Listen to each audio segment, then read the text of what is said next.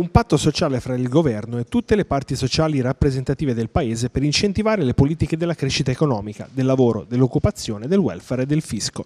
Sono questi gli argomenti che la Confsal, il sindacato autonomo dei lavoratori, ha portato all'attenzione collettiva durante un convegno che si è tenuto a Bari. C'è bisogno di sindacato, anche se devo rilevare che il governo, rispetto a quello che dovrebbe essere una normale democrazia, la, il confronto con le parti sociali non l'ha voluto fare.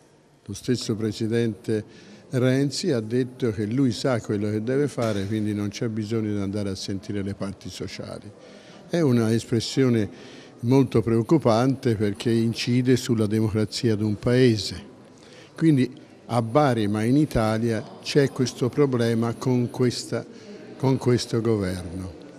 Noi nonostante però questo andiamo avanti nelle nostre proposte, nelle no eh, cerchiamo il confronto a tutti i modi, non lo troviamo del tutto, ma cerchiamo di tenere attivo il ragionamento perché ritengo che un Paese che non ascolta le parti sociali sia un Paese che vada indietro rispetto a un Paese moderno, a un Paese che voglia costruire perché di questo si tratta, un cambiamento epocale nella nostra nazione. Un patto che riparta dal cambiamento, a partire dalla riforma delle norme introdotte dal Ministro Fornero sulla flessibilità del lavoro.